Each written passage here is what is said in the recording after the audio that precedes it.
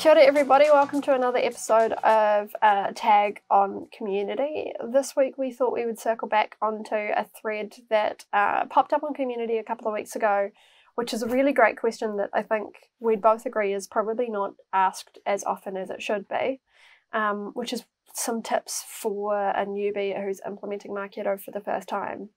Josh and I jumped into this thread at the time, but I thought we could have a little bit of a chat about hmm. what some of our top tips are for people who are jumping into Marketo for the first time if they've got no experience with the system. Yeah, I might start off, um, I guess, here because I think for me, one of the biggest things is all around documentation. Um, and I guess what I mean by that is, is, is a little bit more than just documenting your business as usual. So documenting everything that's in your um, in your actual instance, because making sure that you've got your things like your operational programs actually documented correctly, um, so that it's easy for people to actually follow and understand what's happening. I think it's really good to start better understanding what the business requirements are and what your own requirements are for programs, campaigns, so that you can start understanding and fleshing out what that briefing process actually looks like. Um, I know for, for me, part of ours includes things like an actual change log, who those key stakeholders in the business are, what are our success metrics, just so that we can better um, report and hand over on these things. Just yeah. so if I happen to be out of the office for whatever reason, anyone can pick up the brief, have a bit of a look, and then instantly know everything about the program itself that's been built onto Marketo. Yeah, I agree, and I think it's not just it's not just about like those technical built details of what has been built out. It's also about going into like what is the business um, requirements behind this? What was mm-hmm. the scenario that led us to thinking we needed this? And what were our objectives here and how were we measuring them. I think those are details that are really important to capture too. Huge. Yeah. Yeah. I think as well for me, I know I mentioned this in the thread, um, but like one of the number one things has got to be you've got to get that got to get your naming conventions down on lock, right? One hundred percent. And I feel like any of us who have spent a wee while in Marketo have seen enough horror stories of when that doesn't happen to know your naming conventions for programs, your folder structures, um, especially if you're thinking about like implementing workspaces or partitions or anything like that. Yep. Get that down from day one. Do not let that skip by. Holy cow, you don't want to. Let, it is such a mess if you have to fix it later. Yeah, oh, one hundred percent. I've I've lived those nightmares many a times before. yeah, yeah, completely. And I think for me as well, um, it's like it's not even just programs it's also like one of my big pet peeves is bloody um images. Oh, images in design yes. studio. If you do, if you're not naming those right because you cannot move you can't change the folder that an image is in once it's been uploaded. Yeah. And really the location of it makes no difference from like any kind of structural searching anything like that. So having a really clear naming convention for images as yep. you scale is so good. Yeah. I always put the program name, um, the the like overall general purpose of the image. Like if it's a hero image, I'll put hero, and then also mm-hmm. the dimensions because I've got quite fixed um, dimension sizes for um, a lot of the images that I use in emails, and being able to search just by those dimensions and know that everything that pop up pops up is going to fit that module is yeah. really helpful. I think the key to making sure that these things work just tying back to what I was talking about before, is making sure that it's bloody documented as well. Yes. yeah. so that it's not just you who's got it stuck in your head, that everyone else can kind of pick it up and run with it as well. Yeah. I think that's the key. And um, I think a lot of it's about accountability as well, right? You oh, can yeah, start gosh, out yes. you can start out with the best of intentions, but it doesn't matter for damn if it's not implemented consistently, reliably, regardless of who it yeah. is in the system, how many people you have, if it's one person or whether it's 300 people.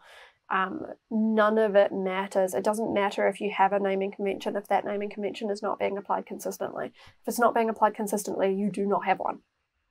No, well, that's exactly it. I mean, if anything, it just makes my life a hell of a lot easier from a searching point of view. I mean, I in in my instance, um, there are probably about I think there's close to forty people in our Marketo instance, yeah. um, and so we need to have a strict convention and, in terms of naming file, sort of the folder, uh, folder structure, um, processes and things, just so that whenever it is that I need to review programs, it's so much easier for me to actually start searching for these things. Yeah. Um, uh, yeah, it makes life so much easier. Yeah, completely. Cool. Any other key tips that you've got that you want to share? I think the only other main thing that I would look at um, sort of mentioning is is actually getting to grips with my tokens. So your program and folder level tokens. Mm. Um, these are things that can be evolved and molded out over time, but if you're sort of starting to play around with one or two of them, even if it's for something like your um, Copyright? Copyright, date, and address details for at the bottom of your email footers and things, it Social just makes media life links? so much easier. Yeah. So much easier. Yeah.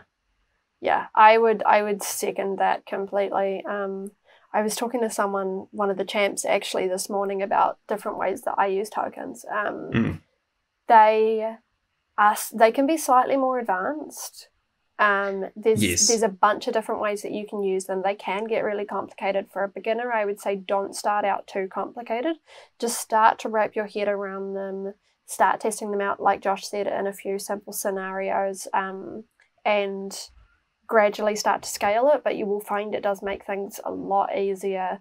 Um, Yeah. If you've got anything that you're referencing multiple times across tons of different assets, stuff exactly like your um, your physical address or your social media links or um, copyrights details, that sort of stuff. Um, I would definitely start looking into tokens sooner rather than later. Yeah, as I say, have a look into them. Start playing around with a couple of other options, a couple of variables in them, but don't get too Yeah. don't get too worried about fleshing out an entire strategy for them because it's something that'll evolve over time. Yeah, you'll figure out what way works best for you. Um, Yeah. I don't know anyone who uses tokens the same way across different instances. Like everyone's got different things that work best for them, and you'll figure out through using it what works right for you. Yeah. Yeah. But I mean, other than that, I think those are my major points. I mean, look, this is, in all honesty, one of those topics that I could talk on for ages, Till but I don't think I really need to be boring everyone about all of this. Um, so I think those are my key key sort of top things. I don't know if you had any other thing to any other things to add. Honestly, the only other thing I would add is that, um, and I think you'll totally agree with me on this, that probably like 80 85% of what I, what I have learned about Marketo is from digging in and trying stuff, from jumping on community and looking up what other people have done and seeing what questions they've had, and Yep. from from asking questions and from researching. So um, there are tons of resources that are available to you. Welcome to the Marketo community. It's a really fun place to be um, and like hang out on our YouTube channel. Check out Joe Wright's YouTube channel.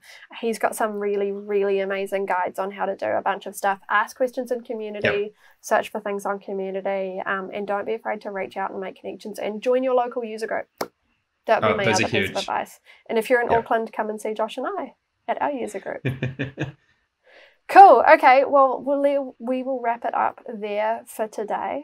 Um, Cool. But if you are a beginner to Marketo, uh, feel free to ask us any questions. You'll find us on community, or you can comment um, down below somewhere, somewhere here, somewhere down here. here, down here, down here. And um, feel free to subscribe and check out any other videos that we have that are around that you might think are helpful. But otherwise, ka kite anō, happy automating, and we will see you next time. See ya.